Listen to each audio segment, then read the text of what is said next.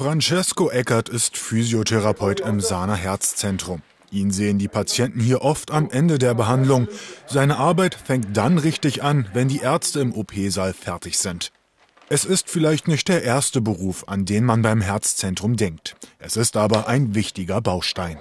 So, diese 25 Watt von der Stärke her, was würdest du dazu sagen? Ja, geht noch. Es geht noch nicht. Aber man muss sich jetzt vorstellen, nach so einer Herz-OP für so einen 70-, 80-jährigen Patienten, ja, für den ist natürlich Hammer. Man muss quasi, ich nehme mal wieder einen bildlichen Vergleich, das Herz ist wie der Motor des Körpers, wie bei einem Auto, ja. Wenn da irgendeine Störung ist, kann das Auto keinen Stoff geben, der Körper natürlich genauso wenig. Deswegen ist es unsere Aufgabe, ähm, den Herzkreislauf wieder so zu trainieren, dass der Patient wieder auf den Alltag vorbereitet wird. Ja. Was für Übungen dazugehören, wissen nun auch 15 Jugendliche, die gestern im Sahner Herzzentrum zu Gast waren. Zum sechsten Mal hat die Spezialklinik beim Zukunftstag mitgemacht. Alle 15 Schüler wollen selbst einmal in die Medizin. Einen Tag lang konnten sie in die verschiedenen Fachbereiche reinschnuppern. Deswegen ist auch Lukas hier. Seine Mutter ist Krankenschwester. Dass er Arzt werden will, steht quasi schon fest. Nur in welche Richtung ist noch offen. Der OP-Saal macht ihn zumindest schon mal keine Angst.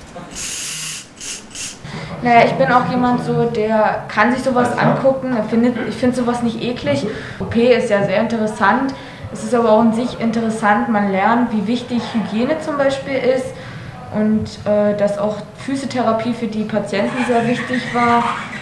Vor allem kommt es aber auf Teamwork an. Im OP zum Beispiel hat jeder seine feste Aufgabe und Arbeitsbereich. Hinter dem Tuch beginnt der sterile Bereich, der Bereich des Chirurgen.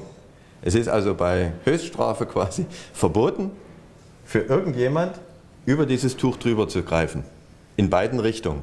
Weil, wenn der Narkosearzt drüber greift, mit seiner unsterilen Hand, dann macht er das sterile OP-Feld unsteril. Infektionsgefahr. Wenn der Chirurg über das Tuch drüber greift in die, sterile, in die unsterile Anästhesiezone, dann macht er seine Hände, seine Kittel unsteril, kommen Keime ran und er trägt das ins Operationsfeld. Ja? Also das ist eine richtig harte Grenze im OP. Hygiene und Sterilität haben in einem Krankenhaus natürlich auch außerhalb des OPs oberste Priorität. Was für Keime um jede Ecke lauern, zeigte Schwester Peggy Scharnowski-Perker.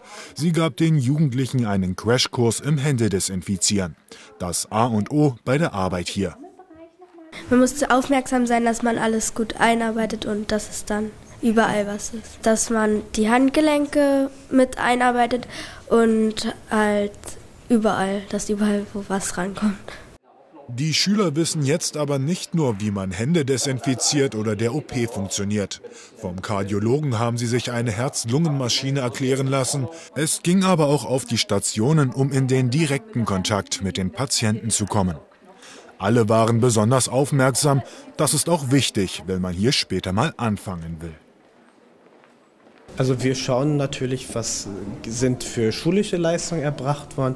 Wir gucken, was haben die Bewerber nebenbei noch getan, haben sich sozial engagiert, treiben sie Sport. Und dann ist es aber insbesondere wichtig, dass man beim Gegenüber so einen Eindruck bekommt, okay, will der tatsächlich, ist das ein engagierter, eine engagierte Bewerberin? Ne?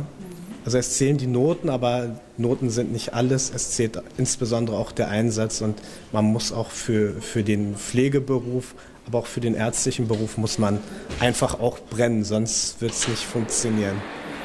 Erst im letzten Jahr hat ein ehemaliger Teilnehmer am Zukunftstag seine Ausbildung im Sahner Herzzentrum begonnen.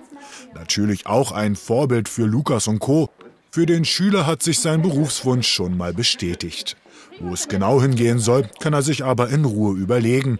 Dafür hat der Achtklässler noch ein paar Jährchen Zeit.